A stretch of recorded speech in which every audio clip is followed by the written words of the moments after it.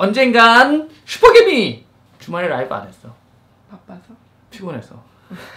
주말 술을 너무 많이 쳐가지고 자 월요일이 왔으니까 월요일에 일을 해야지. 나 요새 좀 기분이 좋아.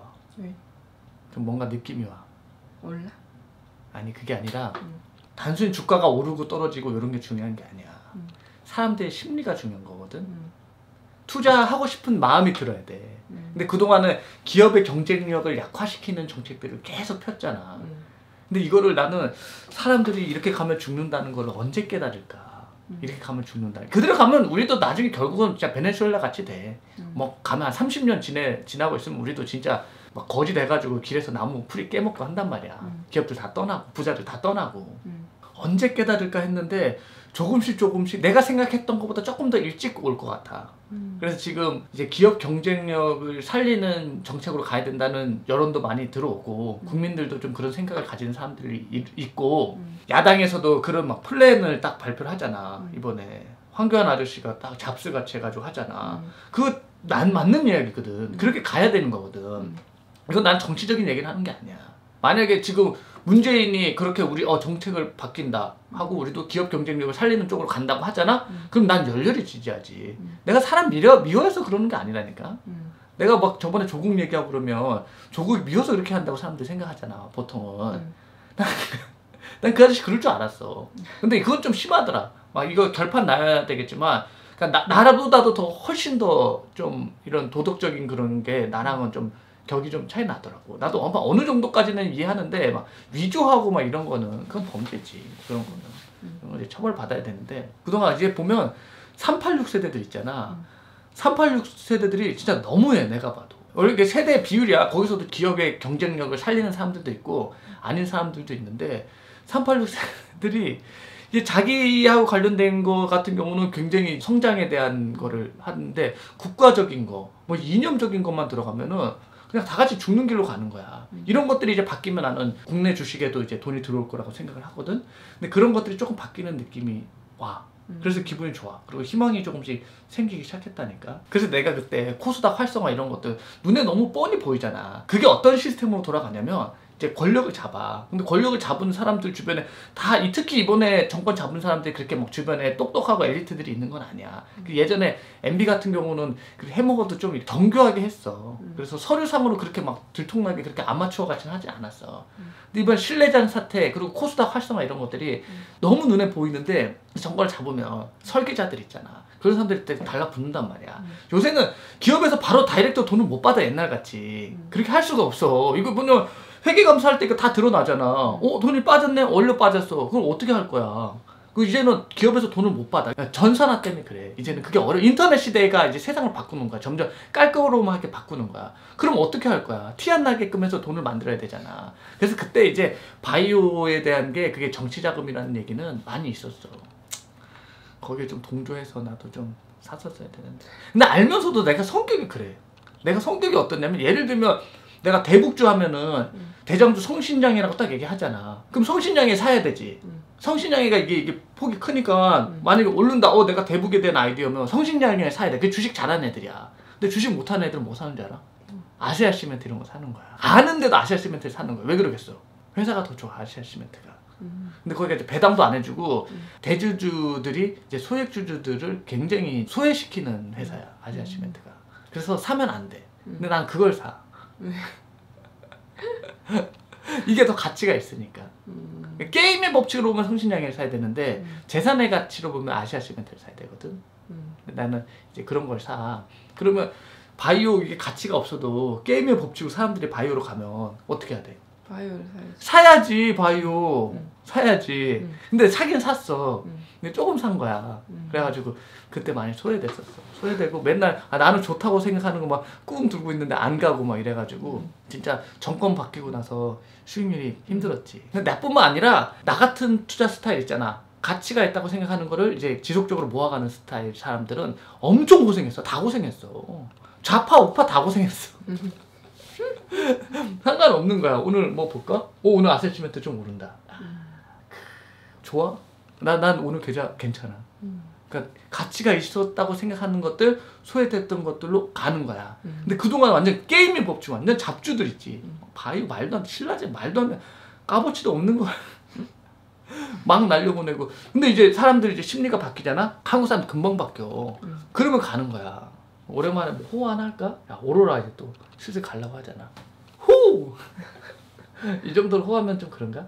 디케락도 지금 그때 우리 바닥에서 샀는데 좀 좋아지고 이제 바닥에서 기는 것도 빨리빨리 다 졸업시키면 몇 개 안 남았어 이제 뭐 이마트, 뭐 서울옥션, 뭐 YG YG 근데 YG 할 땐 내가 뭐 그런 뭐어저뭐 샀어요. 그러지 않았어 그때는 방송 컨셉을 바꿨을 때야. 음. 그래서 이제 케어할 종목 뭐 없어 별로. 이제. 그래 이제 앞으로는 내가 얘기하는 거는 이제 레포트 나온 것만 가지고 이제 얘기를 하는 거야. 음. 그 중에서 내가 추려가지고 얘기를 하는 거지. 오늘 바이오 어떤가? 바이오 왜 이렇게 뚝뚝 떨어져 오늘 이거 아니 쫙쫙 올랐잖아. 바이오에서 돈이 좀 빠져서 좀 괜찮은 걸로 가야지. 그 최근에 레포트 보니까 조선 반도체 top pick으로 뽑았더만. 음. 거기 나올 top pick 뽑기 전에 내가 딱 얘기했잖아. 조선 반도체 좋다고. 아직도 좋아. 나는 이번에는 너무 짧게 치는 거는 털린다고 생각해. 나 아직 디케라가 안 팔았어. 그대로 들고 있어. 이제 좀 더 이제 좀 그런 거야. 올가바사의 맹점 뭐냐면 한 방향으로 주가가 쭉 날라가. 이게 막 200% 300% 나는데 여기서 올가바사에서 그냥 털려버리는 거야. 음. 사실 2, 300%갈 거를. 음. 이해되지? 음. 그러면 안 돼 또 올가바스의 단점은 회사가 안 좋아지는데 음. 그냥 빠질 때 계속 사다 보면은 음.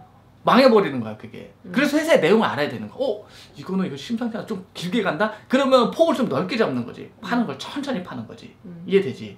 짤짤하게 파는 그러니까 회사의 내용과 회사의 움직임에 대한 거를 대략 알아야 돼. 그냥 단순히 그런 기계식으로 할 것 같으면 모두를 이걸 사고 팔고 한 주 앉았어. 알고리즘 투자하면 돼 그러면. 음. 그게 아니야. 알겠지? 지금 뭐 자기 거 수익 나는데 내가 뭐라고 해서 팔지 말라 그랬지 최근에. 음. 야 이거 이거 지금은 좀 더 들고 가자. 음. 생각보다 괜찮을 것 같다. 그렇게 얘기했어 안 했어. 했어. 지금 아 오늘 근데 괜찮아. 전체적으로. 파라다이스. 야 파라다이스 시티에 일본 사람들 많이 늘었더라고. 환이야. 무슨 뭐 애국 뭐 불매 이런 거? 아 다시 환 있잖아. 음. 천 원 언더로 떨어져 봐. 일본 여행 또 겁나 간다고 이거. 어쩔 수 없어 사람은. 그러면서 이제 그러지. 일본 가면서 이것은 착한 불매 운동이다.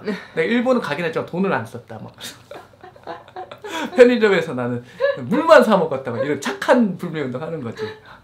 자 우리는 착한 주식 매수 하자. 음.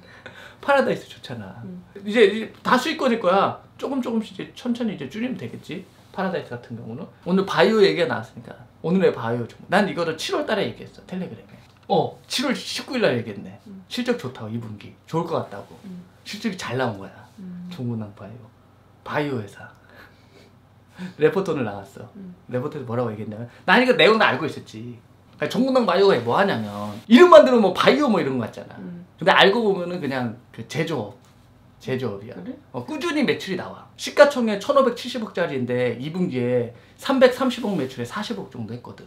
이런 바이오. 바이오에서 valuation은 거의 뭐 킹왕짱일걸? 근데 그런 신약 개발하는 그런 게 아니라 물건 파는 거야. 자기 막 맨날 사오는 거 있잖아. 좋다고 막 먹는 거. 락토핏. 그걸 바이오에서 만들어. 음. 그러니까 종근당 건강에서 팔고 걔는 파는 애들이고 음. 이걸 만드는 거야. 음. 근데 이게 지금 락토피 자기도 막 먹잖아. 음. 막 사다 먹자. 나는 알지. 그거 종군당 뭐 그게 좋은 적이는 아니라는 거. 아니 나는 뭐 자기가 뭐 사오면 그냥 주는 대로 먹잖아. 음. 아 근데 뭐 초기에는 그래도 점점 더 개선될 거 아니야. 음. 대기업에서 하니까. 그래 락토필 OEM 매출이 50억 원에서 260억으로 늘어난대. 작년에 250 50억이었어. 음. 근데 내년에 260억이면 얼마나 성장하나? 성장 팍팍 하는 거지. 음. 그리고 이런 캡티브 마켓이 있잖아. 기업들이 물건 팔면은 팔기가 어렵단 말이야. 음. 근데 이제 딱 모회사에서 이제 막 팔아줘. 나는 만들기만 해. 걔가 또 잘 팔아. 음. 그럼 너무 좋지. 음. 그리고 이제 해외 쪽은 자기네가 직접 하겠대. 직접 판대. 또 직접 팔면 그 이익률도 괜찮거든. 성장이. 그 해외에서 좀 잘 팔게 되면 이것도 괜찮은 거야.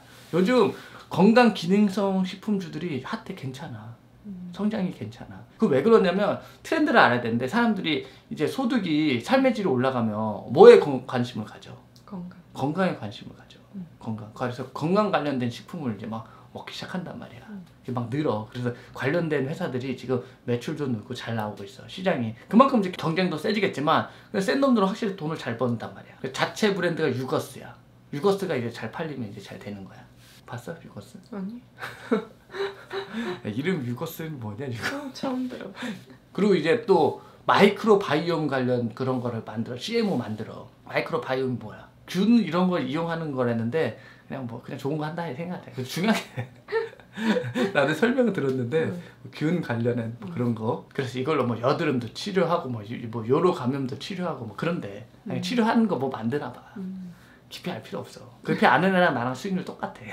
깊이 더 안다고 거래소에서 어 넌 더 아니까 너 조금 더 수익률 더 가져와. 너는 저 거래세 아껴 깎아줘. 이거 아, 그런 거 없어. 응. 그래서 지금 파이프라인이 많아. 그래서 내년에 좋다 난 이런 얘기를 7월에 했지. 이 형은 이거 9월에 하네. 두 달 내가 먼저 빨랐다.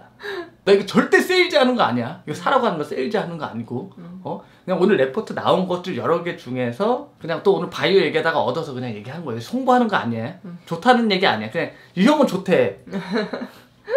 나는 나는 7월에 좋아 보였어. 응. 근데 지금 올랐어. 응. 지금 좋은지 잘 모르겠어. 응.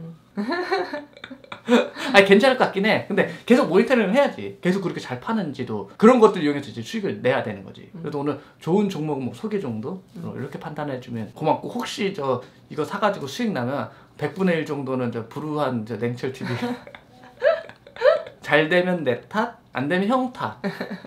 참 쉽죠? 자 월요일부터 약간의 조정이 있는데 조정이 심하게 올 것 같지는 않아요. 또 이럴 때 좀 사고 싶은 거 좀 사면 돼.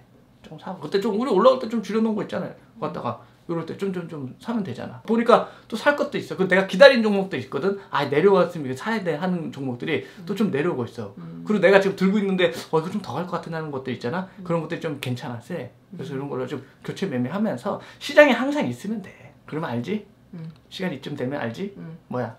상한가 상한가.